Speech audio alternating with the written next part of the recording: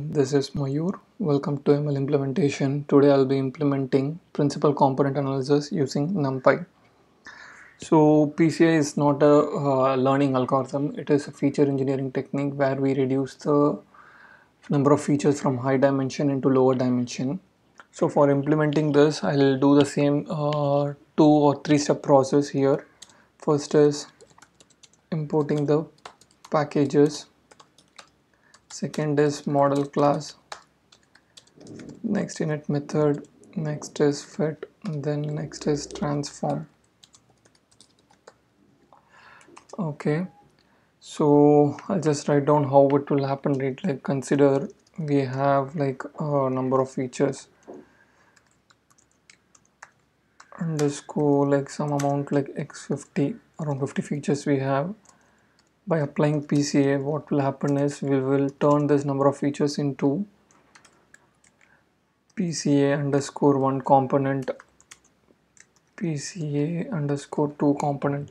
So whatever these features tries to influence right like however these features try to influence the target variable where the same kind of influence can be done by PCA components or PCA principal components here. Though it will not be perfect because there will be some amount of variance which is left out which cannot be captured by PCA so that is the ultimate goal here. Okay let's import our packages. Numpy as np and uh, for dataset sklearn datasets as ds since this is done next is to write the class pca class so let's uh, initialize the number of components we want to project onto. N underscore components is equal to 2 so if I have like 100 features I'll try to what project it onto two features. Okay two features or two principal components is equal to n components. Okay next is fit method so for doing this projection we need to do some set of manipulations on top of our data. First step is mean centering to avoid or to reduce multi collinearity okay i don't know the spelling of multicollinearity. Let it be okay x x underscore self dot mean is equal to np dot mean x comma axis is equal to 0 okay then we have to transform data into reducing the collinearity x minus of self dot mean. Next is finding the covariance of our x so it will try to form a linear relationship between our independent features if there is no multicollinearity okay? So covariance is equal to np dot co into x dot transform. It's because the by default x will be of shape uh, like number of samples samples slash features so I'll turn it into by trans uh, transpose I'll turn it into features into samples. Okay it will give us the linear uh, transformation between the features or variables. Once this is done we have to do decomposition of our covariance matrix.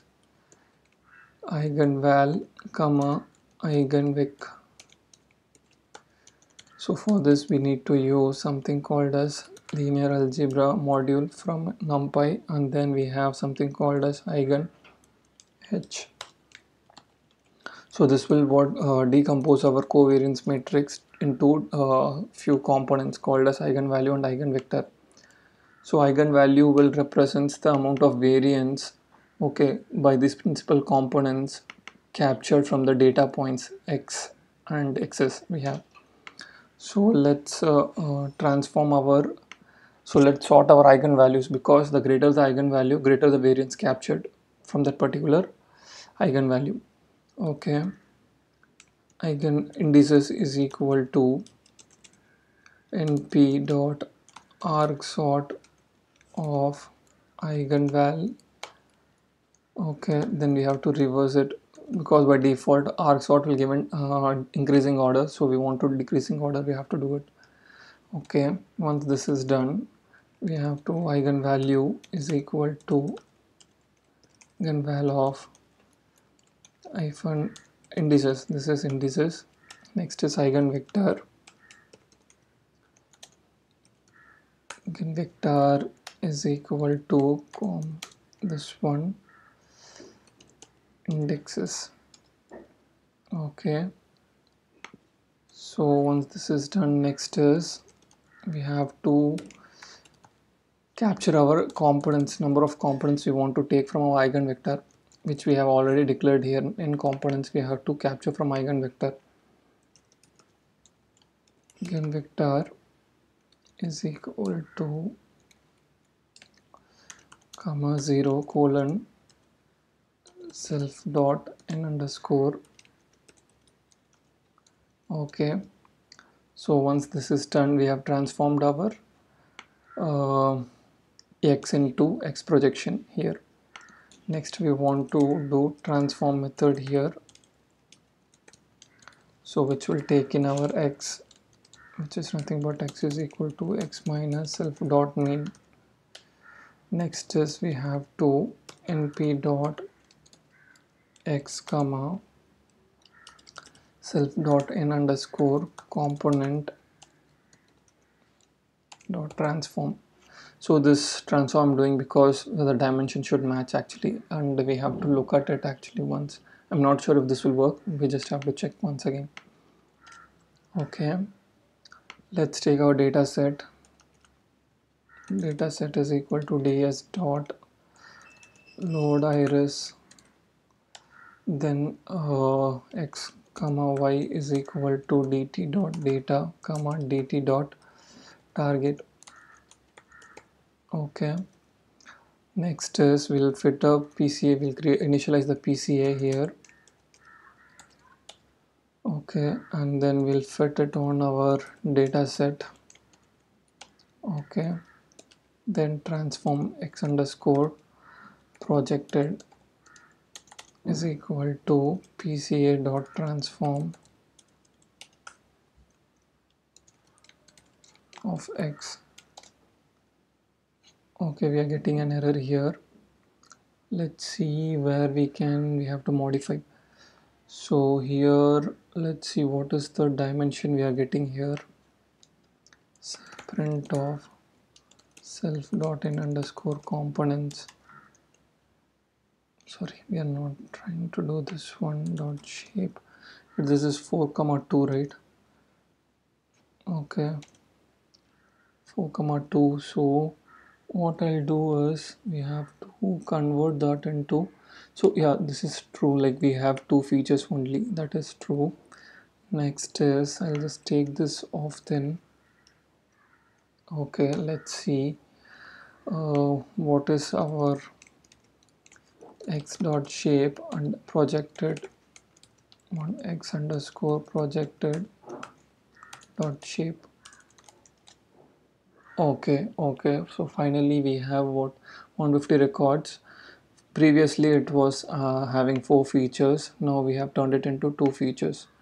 So let's see how our data points are looking on uh, the visualization when we visualize. Okay so for that I'll import matplotlib dot pyplot as plt so for this I have written a code already. So we'll just import that here we have that code. I hope it is capturing everything right? X and uh, x projected.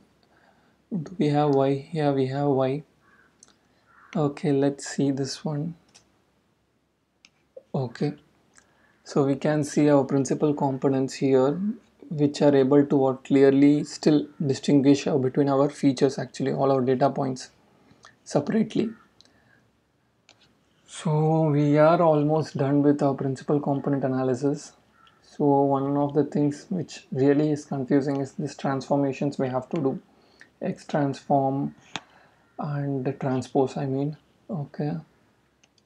So these are just one series of steps. First is mean centering followed by covariance then decomposition of the covariance matrix and then sorting our eigenvalues based on the greater the uh, eigenvalue. Greater is the variance captured by that particular eigenvalue and then reducing it to what number of uh, features we want or number of components we want and that's it. So I hope you are able to understand this particular feature engineering technique. If you find this video helpful do subscribe and thank you